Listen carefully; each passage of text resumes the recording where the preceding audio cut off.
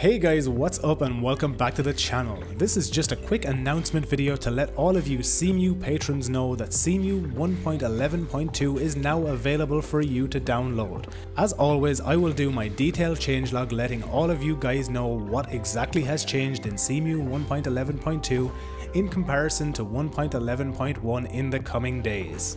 For anybody who wants to have a look at the detailed technical changelog released from Cemu's developers, I will also have that linked down in the description. With this new Patreon release coming today, the 6th of December, this means that the free, public release of Cemu 1.11.2 will be December 13th. Let me know down in the description if there are any games you want me to test on Cemu 1.11.2 and I will do so for you. As always guys, cheers for checking out the video, remember to like it if you liked it, dislike it if you didn't, and subscribe to the channel if you want to see all future videos from me.